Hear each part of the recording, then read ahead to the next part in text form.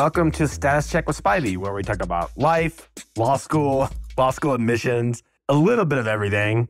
Everything today is going to be US News rankings. And let me just be clear there was a lot of volatility in a lot of what people have been calling compression, which just means a number of ties.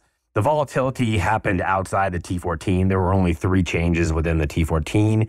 The volatility was entirely expected and forced. So, what do I mean by that? Expected because the methodology changed forced because US News didn't sit down and say, we're going to change the methodology. No, a boycott happened and they had to change the methodology. Historically, we have seen one or two schools from time to time opt out of submitting data for various reasons. But in these one or two cases, US News has ascribed scores to them. There's a system, my data analytics director, Justin Kane, could describe the system you take the median and then you do one standard deviation or something from the median. We'll correct it in the show notes. Or more ideally, we'll do a part two with the hyper nuance.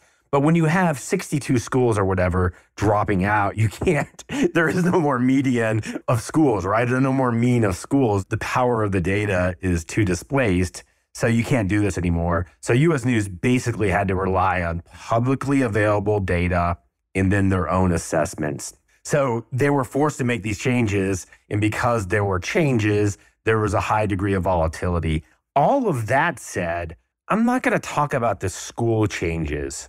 It's silly in a normal year, right? If a school goes from five to six, are they one worse or one better? No, they're the same exact school. It's silly, particularly in this year, because we knew that wild changes were occurring because of methodological reasons as I've pinned on the top of our Twitter account, every year is a bad year to make matriculations decision based on one year rankings changes. This is the worst year ever. Another thing I've hit on a number of times is I've interviewed two hiring partners at major law firms. Neither could name the top 10 schools or come close. Neither cared about one year fluctuations. I used to be a dean of career services. I haven't just done admissions. And a little hobby of mine was to ask managing partners and hiring partners if they could name the top 10 law schools to date. And I'm talking now over 100 people I've asked, hiring partners, managing partners. None have been able to name the top 10. Why is that? Because they don't care about one year fluctuations. They tend to think in terms of brand recognition and prestige. And they tend to think of brand recognition and prestige based on when they went to law school versus one year fluctuations. So I still see this question popping up a lot. I was thinking about going to X school. Again, I'm not going to name a single school in this podcast vis a vis rankings. I might talk about schools vis a vis the boycott. But yeah, if your school dropped 15 points, a hiring partner is incredibly likely not to notice. So if I'm not going to talk about school changes, what am I going to talk about? Just want to give everyone the inside baseball backstory to all this. So months ago, Yale Law School was the first.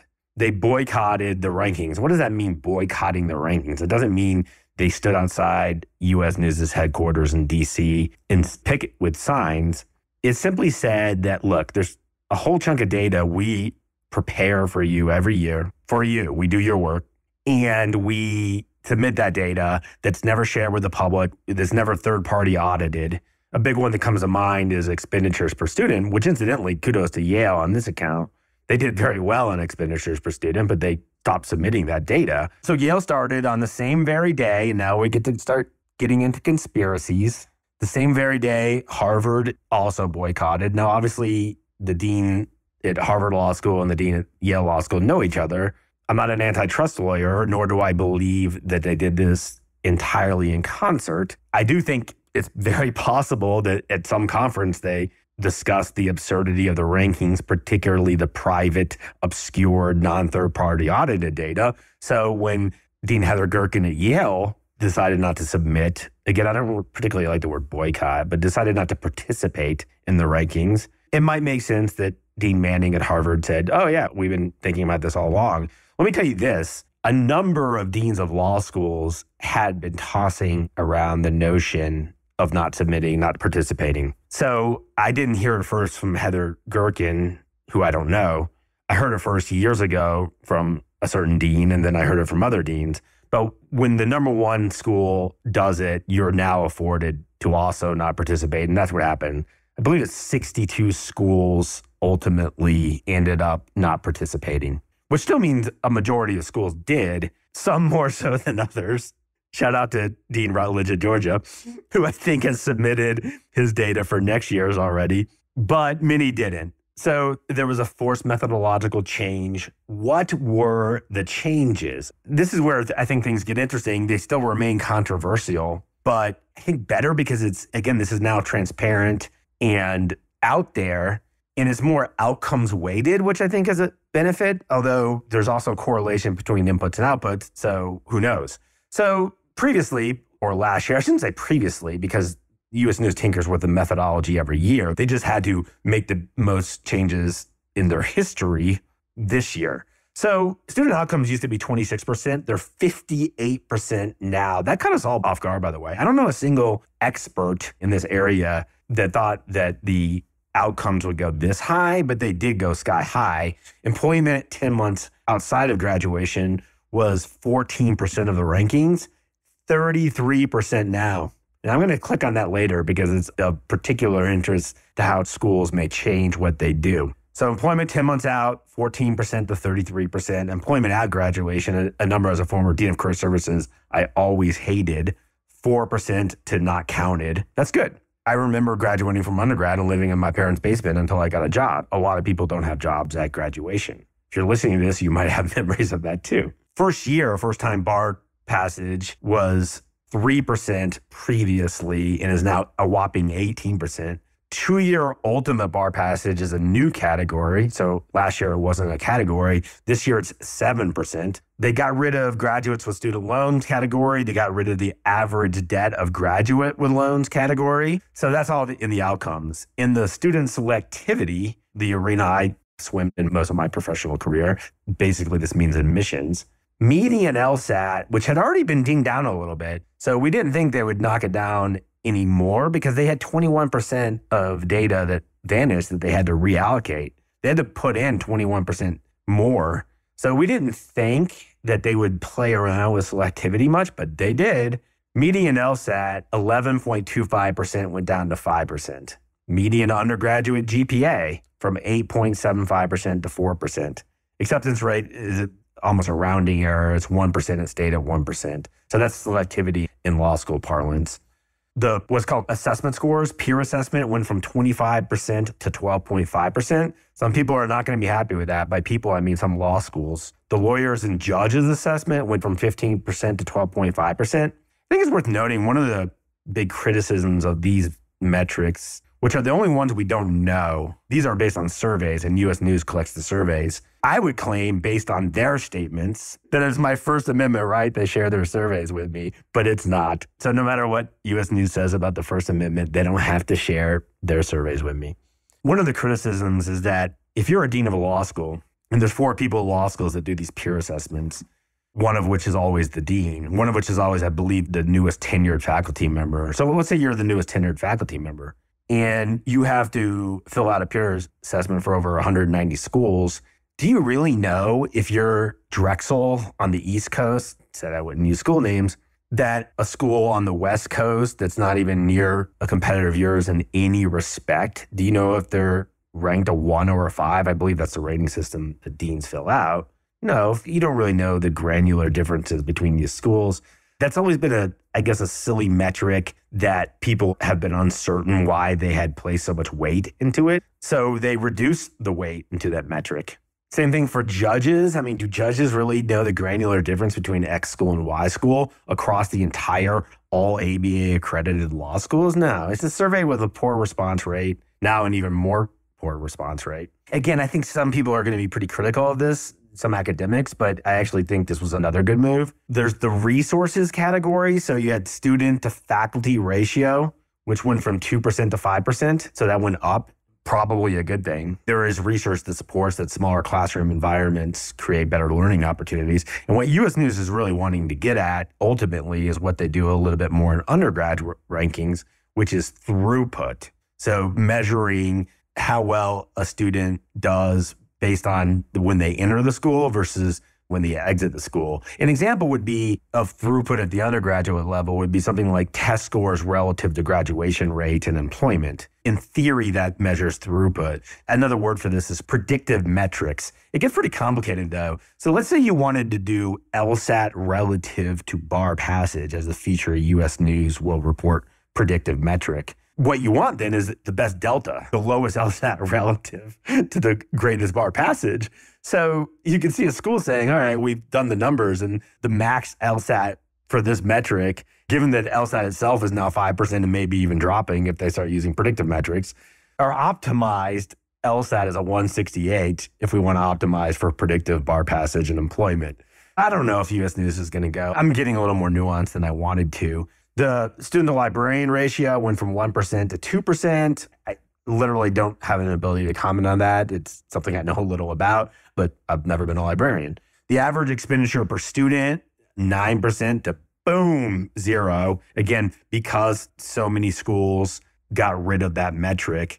The average financial aid per student, 1% to zero. Okay, so what does this all mean? You have a whole methodology you had Yale and then Harvard and then many other schools bouncing out of the rankings. It means a lot of things. Let me just go back in time a little bit. For many, many years, US News had all this leverage and they didn't really pay much attention to law schools' suggestions. This is not me, Mike Spivey, saying this. This has uh, been a complaint of law schools and law school deans ever since US News started getting more prevalent and merit aid started going up which was an arms race to buy LSAT scores because LSAT scores were weighted more heavily, but they're also a discrete category, right? A 168 is different than a 169 or a 167, although even that's a little bit interesting because US News has put them in bandwidths. But a GPA of a 3.5 is worse than a 3.58, worse than a 3.6, better than a 2.48, 2.49. So discreteness in these metrics mattered more and more as more and more people started paying attention to US News and World Report rankings. Faculty salaries went up. That student expenditure. I think my favorite tweet ever, or most interesting or curious, or one I wanted to respond to, but probably because I don't like drama, didn't, was a faculty member a couple years ago said something like they were at Columbia and they said something like, It's great my school's ranked in the top four or whatever, top five which they aren't anymore, but not at the expense of 72,000 whatever dollars tuition per year. Where do you think 70% of that 72,000 goes to? Roughly 70%. Faculty salaries. So I've yet to see the tweet from a faculty member. It's great that my school is ranked number four, but not at the expense of $70,000 tuition. And I'm willing to take 33% pay cut because I think the tuition is out of hand. I won't go off on lack of understanding of U.S. News and World Report no one has a perfect understanding. Certainly not US News. We'll get into all their mess ups, which were extraordinary, not just butchering the United States Constitution, but data mistakes. So you go back in time, the rankings become more prominent, more money is given out to high scorers because this was a margin that you could really improve on. And there were margins. I think the biggest margin was your student to faculty ratio, even though it wasn't weighted the highest decreasing class size floated a ton of boats. It floated your entering metrics, GPA and LSAT. It floated your output metrics, employment and bar passage. If you're more selective and you have less students, your GPA and LSAT are going to go up. It's going to be easier to place them. Obviously, your student to faculty ratio gets better.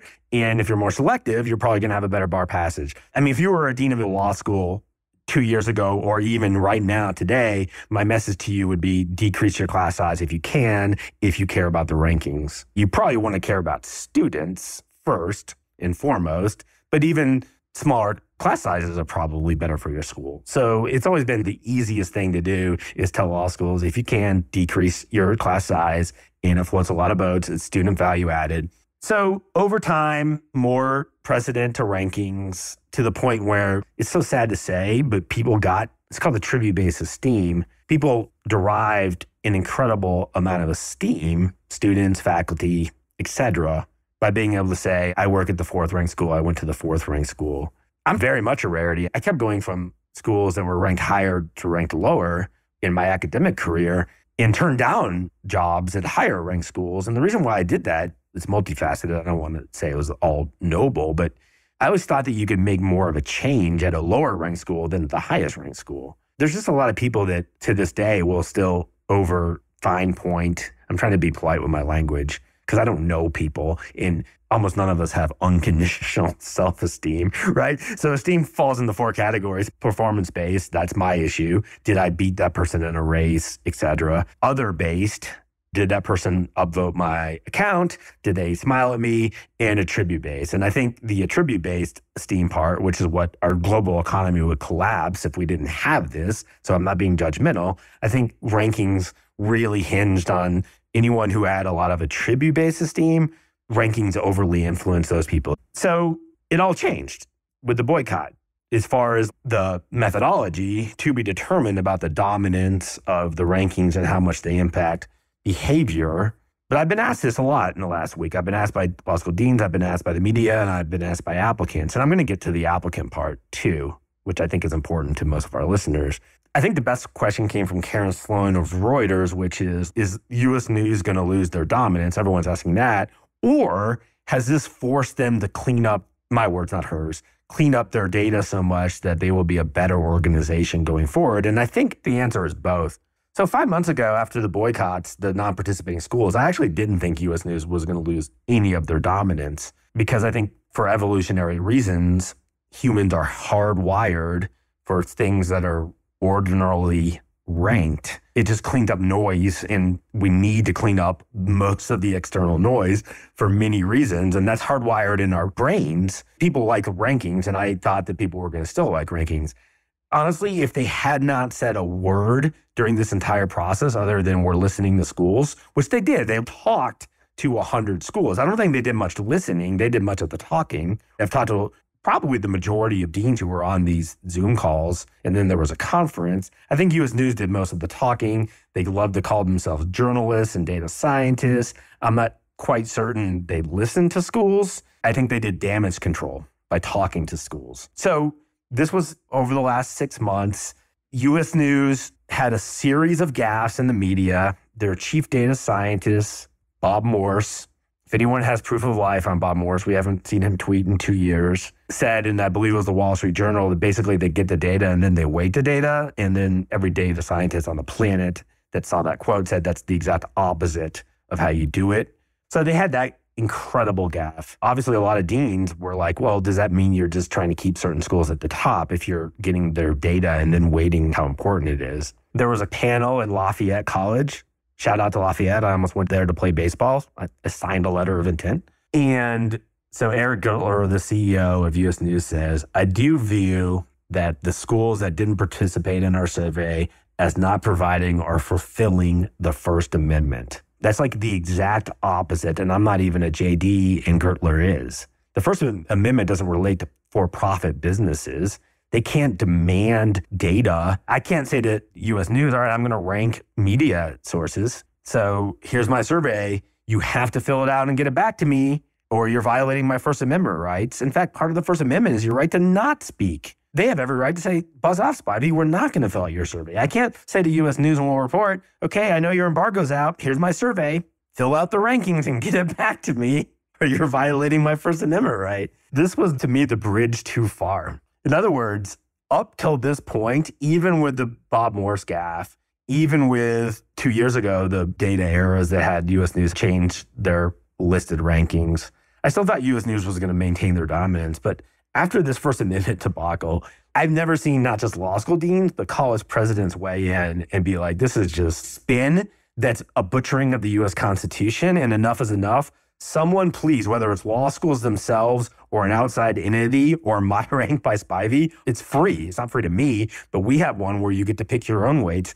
Please, someone fill this vacuum because US News is going bananas with the way they're speaking about the US Constitution. And just wait, because to be determined, US News seems to think that a viable business strategy is getting into this debate in defense of their rankings. So, what do we have in late June, early July? We have SFFA v. Harvard, the SCOTUS affirmative action case coming up.